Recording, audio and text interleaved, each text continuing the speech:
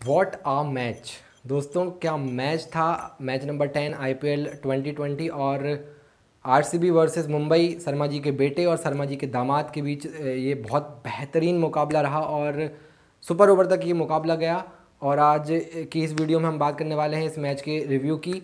दोस्तों, मैं हूँ आपका दोस्त और होस्ट रजत शर्मा और आप सभी का बहुत बहुत स्वागत है सिल्वर क्रिकेट यूट्यूब चैनल पर। दोस्तों, चलिए शुरू करते हैं। दोस्तों, क्या मुकाबला रहा? विराट कोहली एंड कंपनी ने 201 रन बोर्ड पर लगाए और आरसीबी की तरफ़ से हमें ए बी डिविलियर्स की हाफ़ सेंचुरी देखने को मिली। साथ में एरन फिंच ने भी अच्छी बैटिंग करी देवदत्त पडिकल ने बहुत अच्छी बैटिंग करी और आरसीबी के कप्तान विराट कोहली एक बार फिर से थोड़े से आउट ऑफ़ फॉर्म नज़र आए, जो कि जब वो आउट हुए तो मुझे बड़ा दुख हुआ कि यार ऐसा बहुत कम देखने को मिलता है कि विराट कोहली लगातार तीन मैचेस में फॉर्म उनका आ नहीं पा रहा है। तो ठीक है कोई दिक्कत नहीं है, हो सकता आने वाले मैचेस में वो अच्छा कम करें। पर मोस्ट इंपॉर्टेंट होता है कि टीम जीतना चाहिए तो वही हुआ लास्ट में 201 रन आरसीबी ने बोर्ड पर लगाया। उसके बाद जब मुंबई इंडियंस की बैटिंग आई तो शुरुआत इतनी अच्छी नहीं रही। मुंबई इंडियंस की रोहित शर्मा बहुत जल्दी आउट हो गए। उसके बाद फिर ईशान किशन। क्या बात है यार, ईशान किशन। क्लैप तो बनती है ईशान किशन के लिए। बहुत अच्छी पारी उन्होंने खेली। और वो जो पार्टनरशिप थी, पोलार्ड और ईशान किशन के बीच, वही पारी सबसे महत्वपूर्ण रही क्योंकि 24 बॉल्स में अस्सी रन को चाहिए थे और मैंने तो शायद उम्मीद भी छोड़ दी थी कि मुंबई अब ये मैच जीतेगी।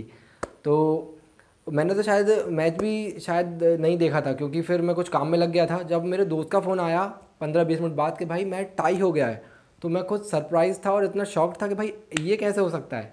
चौबीस में अस्सी बना डाले यार मतलब पोलार्ड और ईशान किशन की वो पार्टनरशिप अमेजिंग बहुत बहुत मज़ा आ गया।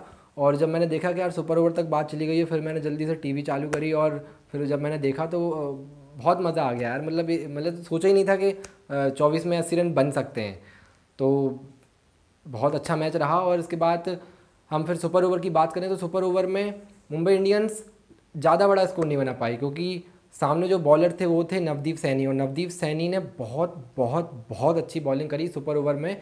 और क्योंकि यु, युवा हैं अनुभव भी उन्हें इतना नहीं है और दो विस्फोटक बल्लेबाज के सामने कारण पोलार्ड और हार्दिक पांड्या के सामने जिस इस तरीके की जो उन्होंने बॉलिंग करी बहुत अच्छा लगा देख के और इंडियन बॉलिंग इंडियन क्रिकेट की जो बॉलिंग है उसका फ्यूचर जो है बहुत बहुत बहुत अच्छा लगा मुझे क्योंकि जसप्रीत बुमराह ने तो ये काफ़ी बार इंडियन टीम के लिए और मुंबई इंडियंस के लिए किया है सुपर ओवर काफ़ी मैच इंडिया को और मुंबई इंडियंस को जिता है पर जिस तरीके से नवदीप सैनी ने बॉलिंग करी मज़ा आ गया और बहुत बहुत अच्छा लगा।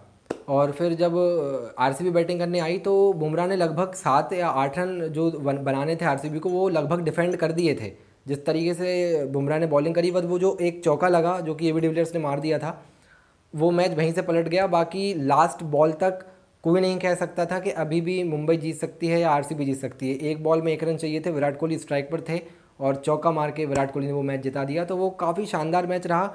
टीम चाहे कोई भी जीते, आरसीबी या मुंबई, पर मोस्ट इंपॉर्टेंट ये होता है कि जो दर्शक हैं, उनको इंटरटेनमेंट बहुत अच्छा मिला और इसीलिए आईपीएल इतनी लोकप्रिय है। अगर हम बात करते हैं कि ऑल ओवर वर्ल्ड में जो टी ट्वेंटी लीग होती है सबसे फ़ेमस लीग है आईपीएल इसलिए ही ये फ़ेमस है क्योंकि इस तरीके के जब गेम्स देखने को मिलते हैं तो बड़ा मज़ा आता है दर्शकों को भी और इंटरटेनमेंट होता है और काफ़ी इन्जॉय हमारे जो क्रिकेट फैंस हैं, जो क्रिकेट देखना पसंद करते हैं, वो काफ़ी इन्जॉय करते हैं। तो बहुत अच्छा लगा और अभी तो ये दसवाई मैच था और आने वाले अभी काफ़ी मैच अभी बाकी हैं पूरा अक्टूबर का महीना अभी बाकी है। तो और ऐसे बहुत रोमांचक मुकाबले हमें अभी देखने को मिलने वाले हैं आईपीएल 2020 में। तो दोस्तों कल का मैच बड़ा शानदार था और आरसीबी ने अपना ती, तीसरा मुकाबला खेला और तीन में से दो मुकाबले अभी आरसीबी ने जीत लिए हैं। तो अच्छा लगा आरसीबी के लिए भी क्योंकि मुंबई इंडियंस एक ऐसी टीम है जो अभी हार ज़रूर रही है पर बाद में वो कम करना जानती है और वो क्वालिफाई करना जानती है। क्योंकि ये पिछले कुछ सीजन्स में मुंबई इंडियंस ने किया है।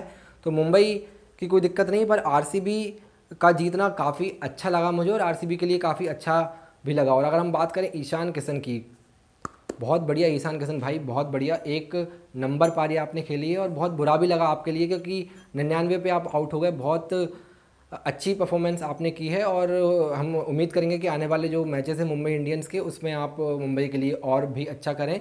हालाँकि मैच मुंबई इंडियंस हार गई, पर ईशान किशन ने पूरे इंडियंस का, पूरे इंडियन क्रिकेट फैंस का दिल जीत लिया।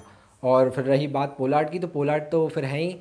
हिटर और अच्छी बैटिंग उन्होंने करी। जिस तरीके से, अगर मैं बात करूँ पहले 11 बॉल में उन्होंने सिर्फ़ शायद, नहीं, पहले 10 बॉल में उन्होंने सिर्फ़ 11 रन बनाए थे। और जो नेक्स्ट 10 बॉल थी, उसमें उन्होंने 49 रन बना डाले। तो टोटल 60 रन उन्होंने 24 बॉल में बना डाले।